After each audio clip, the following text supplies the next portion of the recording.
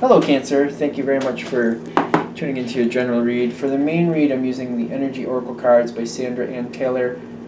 For the supportive Oracle cards, the Angel Answer Oracle cards by Doreen Virtue and Radleigh Valentine. Okay. Now there's an interesting start.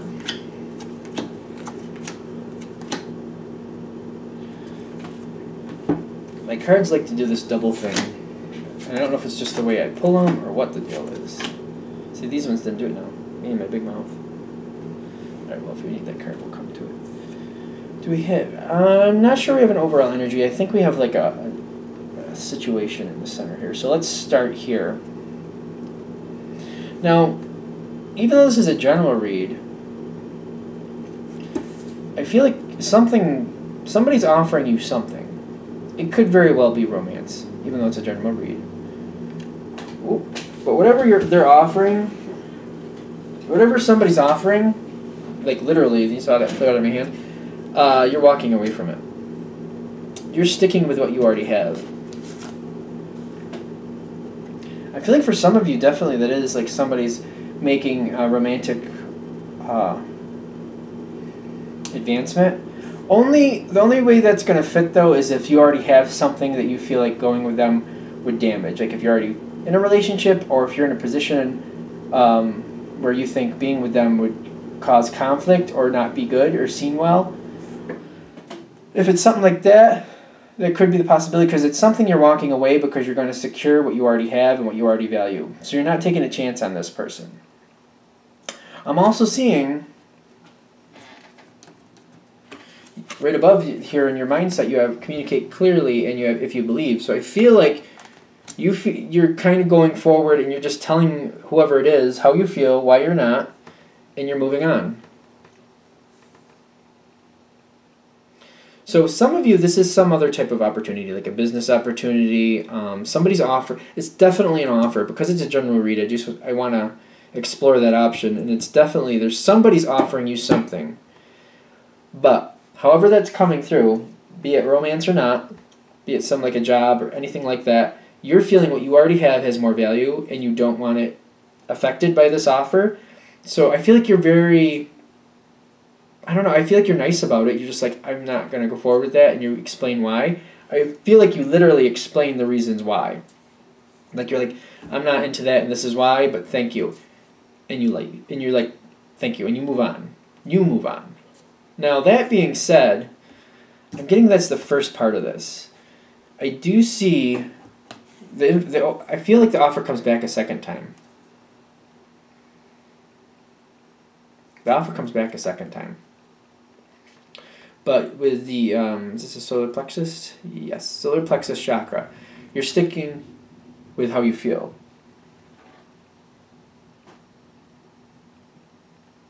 I'm not sure if that was a truck or if that was thunder. um, you're sticking with how you're, you're sticking with your gut instinct where you stand. You're not moving from it. Although you do realize you do have an option. That seems to be behind here, the garden and the gate. That means you can stick with what you already love and know is secure, or you can you can try and venture out in something else. But I'm noticing how you're you're staying loyal to what you have.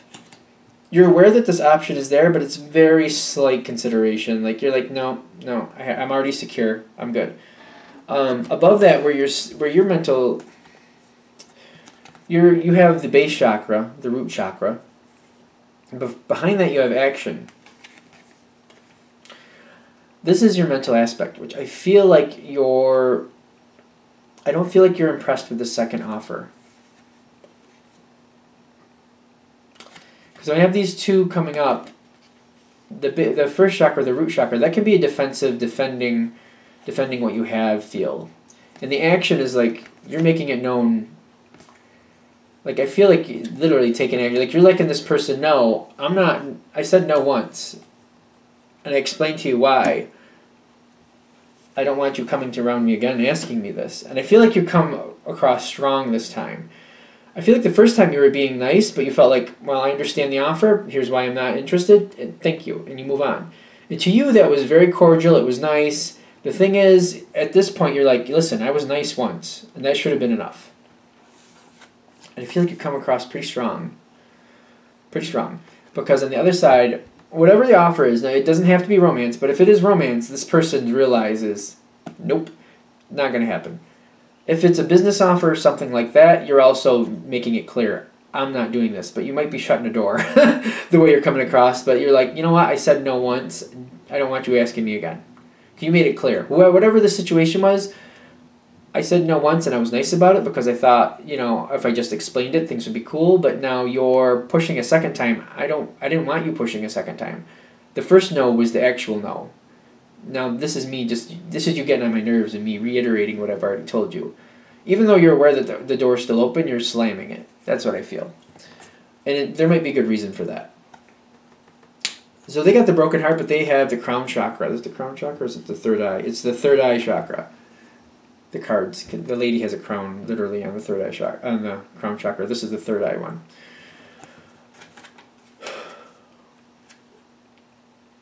They're going with their gut. Like they, for some reason, they really feel good about you. I feel like if this is a romantic interest, it's kind of like a kindred soul. Like they feel like they know you. They ha- they're having that hard connection there that just they can't get past. If it's business, it's because they really they feel like you can be a great asset to them and they don't want to miss out that's why they're doing it again. Whichever way it is, the other person feels really passionate and they're, they're seeing like this is a good thing. They're, they're like, well, maybe I didn't explain it well. I just have to try one more time because I don't want this to pass by because they have really good feelings that this is something you should be a part of, be it romantic or not. Whatever it is, if it's romantic, it's because they're having that kindred soul feeling and they just feel like they know you and that you're meant to be with them. They, they're having a hard time letting it go. So they're not, they're just pushing it out there one more time because they feel like they didn't plead their case well enough. If it's the business, it's sort of the same, except the business way, they feel like you can be a great asset and they don't want to lose you. And they're just like, well, maybe if I sweeten the pot, maybe you'll go for it then. And either way, you're not you're not happy. You're not impressed with it, and you're just like the first no was the actual no, and this is me just being annoyed with you because you're not listening to what I'm telling you. Um, the thing is, after the fact, you do come off strong the second time, and you're worried that this is going to have some type of repercussion. However, you're connected with this person, because of the way you came off the second time, you're worried that this isn't going to work well in your long run. In the long run, like it's somehow going to come back to bite you in the butt. But the angel card here is saying that there's nothing to worry about, just to let it go. It's fine. Be forewarned, though. Whatever the situation is, it's not over. The other person is whatever it is, romantic business, whatever it is. This is not this is not not easily squelched.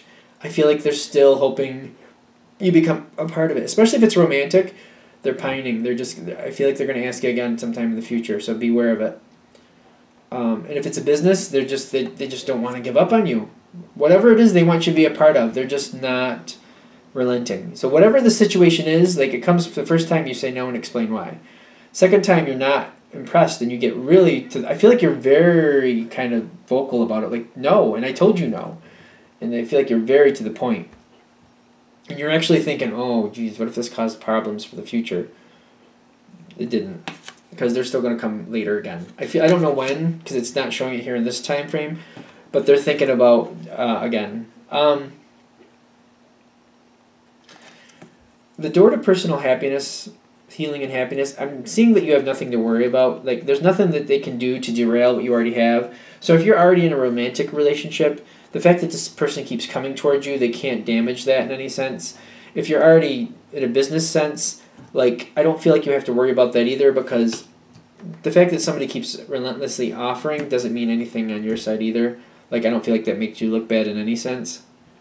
So the final card here is like whatever way it's coming at you, whatever way it's making you uncomfortable, it's not going to damage what you already have.